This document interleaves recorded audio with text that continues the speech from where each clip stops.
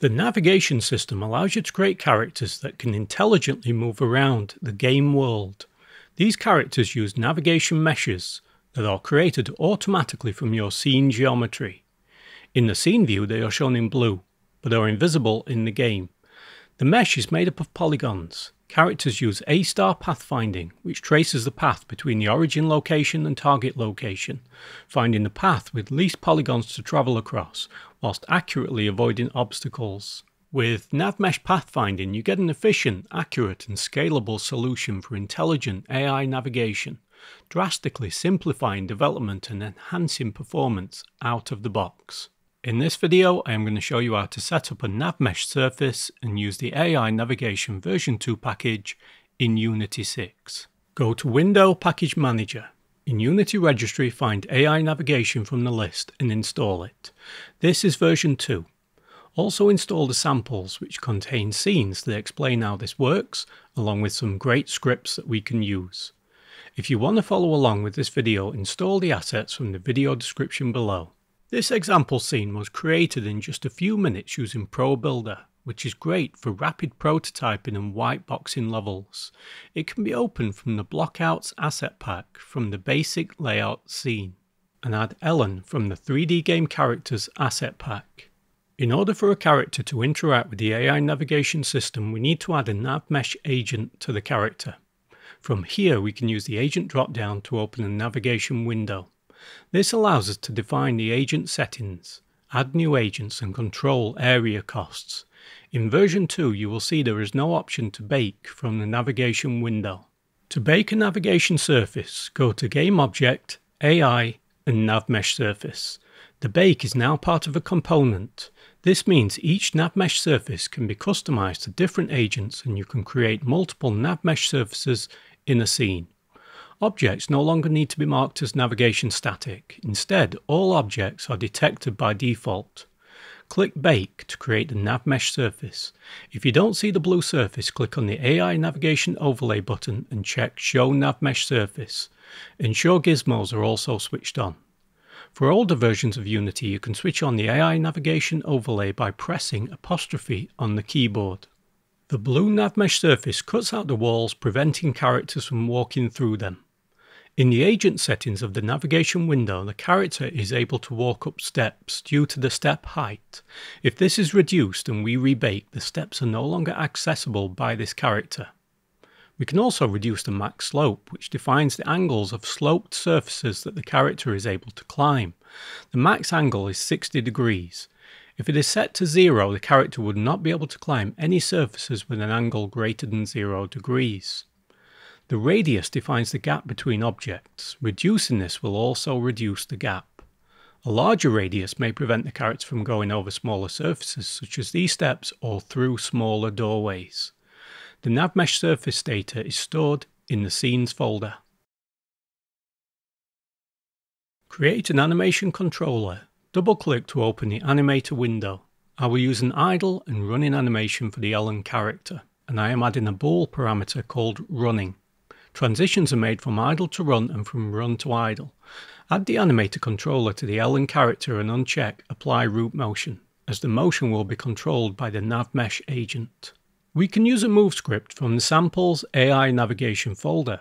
Drag the click to move script onto the Ellen character. We need to modify the script slightly to include the animations. Add an animator variable.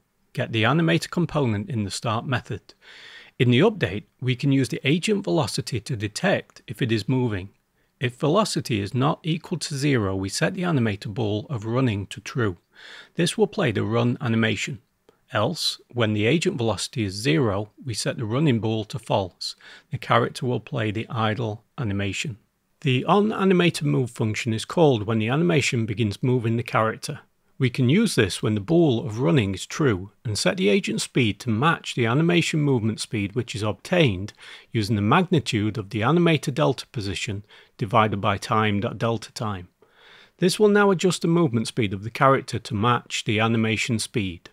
Now when playing the scene, as I click, the character runs to the position where I click. The angular speed on the character's NavMesh agent defines the speed of the rotation. This can be increased, and now the rotation is much faster. Increasing the acceleration will speed up the time it takes the character to reach maximum speed. Auto braking will add an ease out to the movement, so the character will slow slightly before stopping. When unchecked, the character will maintain max speed right up until the character stops. Stopping distance can be used to change how far away the character stops from the target point. We see when the character runs up the steps, she treats it like a ramp, ignoring the step height altogether. You can bake a height mesh to have the character react to the height of different objects. Ensure that Show Height Mesh is checked on. In the NavMesh Surface Inspector, under Advanced, check the Build Height Mesh checkbox. Now rebake and you can see the pink height mesh surface. This works alongside the NavMesh surface to tell the agent how to react to different heights of objects. Now you can see the character moving up and down with the height of each step. If we have multiple characters of different sizes, we will need to create multiple agent types where the values match each character size. Characters that have the same size can all share the same agent type. The Grenadier character is much larger than Ellen, so we need to create a new agent type in the navigation window. I'll increase the radius, height, step height and max slope. These values are used when baking a NavMesh surface. Add a NavMesh agent to the Grenadier character. We can see the default settings are too small. Choose the new agent we just created and type in the same values for radius and height. Now we can see this agent is better suited to this character. These values are used to move the character along the NavMesh surface. Create an animator controller and add a walk and attack animation. Use an attack bool to move between the two. When creating multiple NavMesh surfaces, check the Show Only selected to isolate just that NavMesh surface. Create a new NavMesh surface object. Select Grenadier as the agent type and click Bake. The character is too big to walk through the doorway or climb the steps. Create a new script called AI Target. Ensure the script is using the AI namespace. The NavMesh agent, animator and other variables are declared at the top. Get the components in the start method. In the update method we use a vector3 distance to return the distance between the Grenadier and Ellen. If distance is less than the attack distance, we stop the agent from moving by setting is stopped to true. Then set the animator attack bool to true. Else, if the distance is greater than the attack distance, we set the is stopped to false, allowing the agent to begin moving again. Set the destination for the agent to Ellen's position, which is the target position. Then set the animator attack bool to false, returning to a walk animation. Then add the on animator move function Check if attack is false and match the agent speed to the animation speed. Add the script to the Grenadier and change attack distance to 2.5. Set Ellen as the target. During play mode, the Grenadier chases Ellen. However, he can't walk through doors or climb steps, so he has to find a different route to get to the player. If you want to view the debugging options, check on the Show Path Polygons, Show Path Query Nodes and Show Avoidance.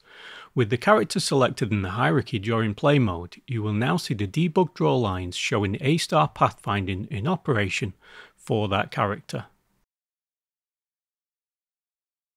In the step height scene, I want a navmesh surface that cuts out various objects, which I have added from the 3D Game Kit environment pack, ensuring characters can't walk through them. However, baking the scene using the default settings results in this. For more control over what should be included in the NavMesh surface and what should be cut out, we can use the NavMesh modifier component. Selecting all objects we want to cut out, add a NavMesh modifier component. We can target a specific agent type or select all. Enable override area and choose not walkable from the drop down list. Now rebake and we can see those objects are cut out of the NavMesh surface. Select the grass and add a NavMesh modifier component. Choose Remove Object as the mode. Now rebake and we can see the grass is ignored, allowing the character to walk through it. In the multi-level scene, I only want the top level to be walkable. We can achieve this by giving the top level assets a NavMesh modifier component. We can go with the default values. This is used to tell the NavMesh surface only to use these objects when baking. In the NavMesh surface in the Object Collection section, choose NavMesh Modifier Component only from the Collect Objects drop-down, then Bake. Now only the objects with NavMesh Modifier components are used for the NavMesh surface. As you progress from blocking out a scene you will start to add finished assets, which I've done here from the 3D Game Kit Environment Pack. Notice that these items have a more organic shape. We want to cut out parts of the cliff and include these new platforms. Cliffs to be excluded should be given a NavMesh modifier component. Check the override area and choose not walkable. The parts to be included should be given a NavMesh modifier component with default values. Now when we bake, the cliffs are cut out from the NavMesh surface. The two cliff tops are included and the NavMesh surface allows characters to walk along them. If I add a character to this top block, I only want him to stay in this specific area. Creating a new NavMesh surface object, choose Volume from the Collect Objects drop-down. Now I can define the volume area. When I click Bake, the NavMesh surface is created within that volume area. In the next video we will look at NavMesh links to get AI characters jumping, how to bake a NavMesh surface onto vertical surfaces such as walls, linking multiple NavMesh surfaces together, dynamically updating the NavMesh surface for opening doors, scripting to add conditions when an AI character loses sight of a target. For more information see the link in the video description below. Thanks for watching.